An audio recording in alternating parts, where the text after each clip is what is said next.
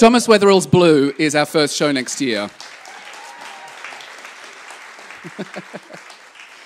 we'll figure it out as we go. Yeah. Do you want to tell us about your play?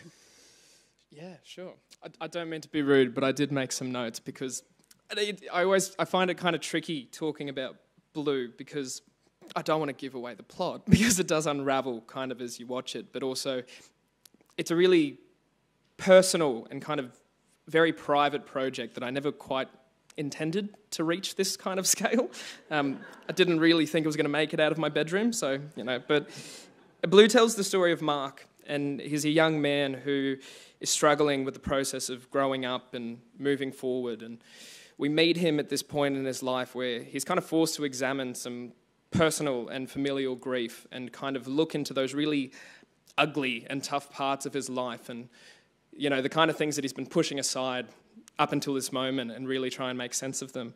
Um, the blue and the use of the ocean is kind of a constant backdrop to the play.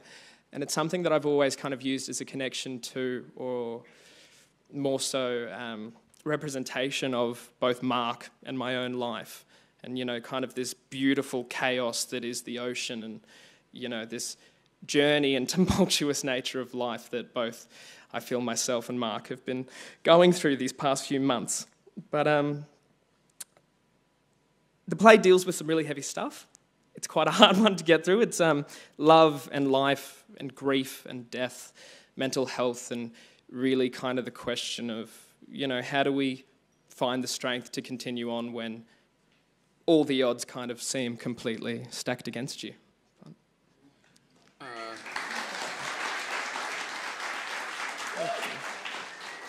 Um, Thomas has been the Balnaves Fellow, so we we read this play. Um, you know, like I've, again, time. What's time?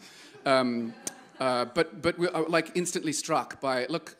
You can see there's an age difference between us standing side by side, but I wish I had the wisdom and self possession that Thomas has. This is a, a, play of extraordinary depth. It's an exquisite monologue um, uh, that is performed with several other performers. Um, uh, You've been the the, the Balnaves Fellow, and yet um, Thomas has also been incredibly busy starring in, I mean, pretty much every new Australian television show that's been shooting in the last six months. So he's been coming and going quite a lot. He's also in it as well as having written it. Um, I'm very pleased to announce that it's being directed by one of the great alumni of Bangarra Dance, Deborah Brown, making her directing debut here. Um, uh, and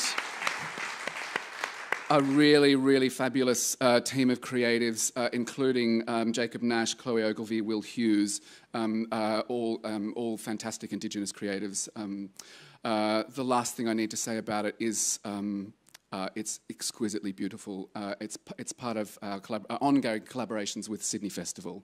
Thomas, please take a seat.